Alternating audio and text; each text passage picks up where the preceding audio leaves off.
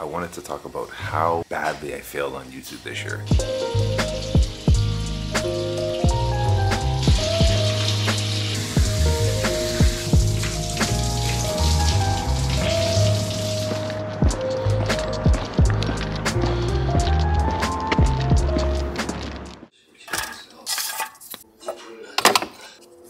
Like that, right? Using an espresso. I figure we have all this coffee. I'm buying all this Starbucks coffee and I have coffee right here. All I gotta do is add creamer, milk, and some ice cubes. This thing never seems to end.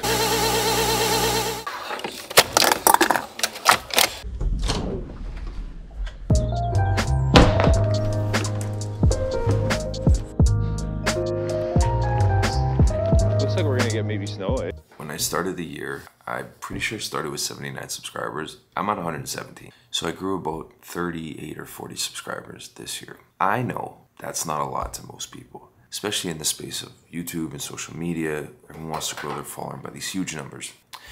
And I'm no different. I understand it's a process. I know it's gonna take time. And I'm really insistent I'm not gonna change anything I do. I'm gonna continue to vlog my life, lifestyle vlogging, whatever you wanna call it. I hope that this year it's 380 subscribers or 3,000 subscribers. Who knows? You never know with YouTube. But that's my goal. Keep working, keep working, keep working.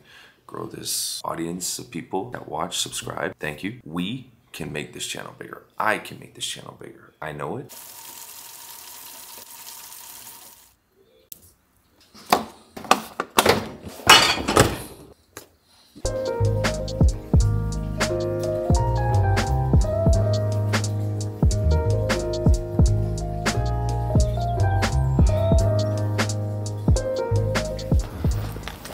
Just, oh my gosh, she always got her shit open. I gotta clean the windows, man. Windows on my car are so beat up, so like you can't see out of them and shit. She always leaves her bags open.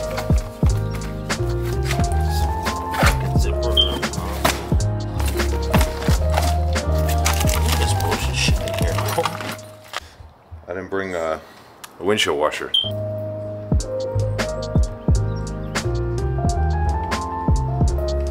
So it's oh my god, that's so close. It's so late. I just got McDonald's fries. 'Cause I need to eat something, obviously. I Took some kimchi from Jess's dad as well.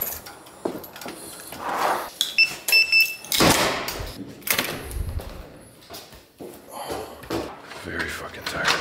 Oh, finally home. Finally home. Oh my god. It's like 5 a.m.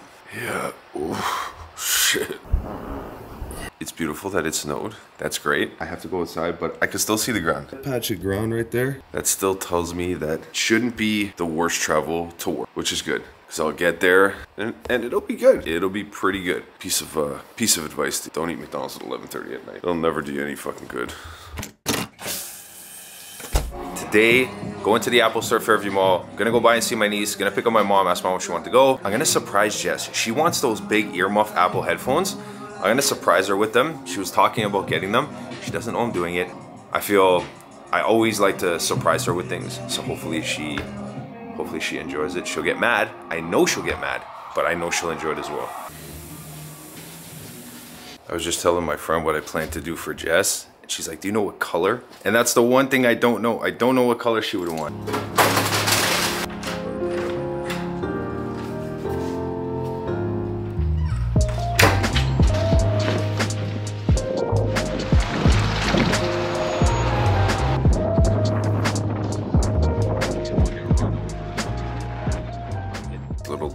Baby screamed as soon as I came in. She saw my big mug, screamed. Blocked off my upstairs parking lot, which pisses me off.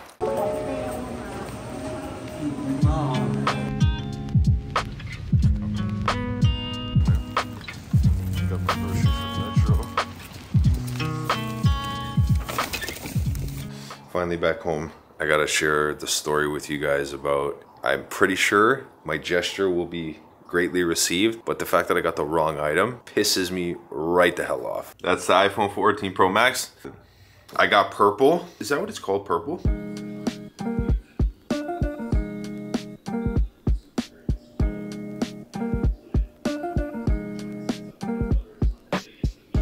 This is what I'm happy about. I got Jess these AirPods Max. Yeah, that's the color. I got her the most. First thing she said was, How much did you pay? I didn't even want to tell her because I knew she would be like, Oh, just return it. And I'm not going to fucking return it. She's going to take it, she's going to enjoy it. Every now and again, I don't do it all the time, but every now and again, I like to take the opportunity to get you know, get her something. And the fact is, they're nice.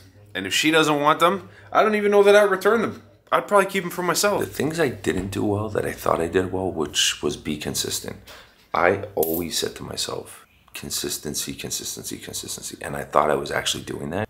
And towards the end of the year, I really stopped doing that. There was a stretch where I didn't post for 40 plus days, I believe. That is not me. I was posting once a week, once every two weeks, and I really fell away from that.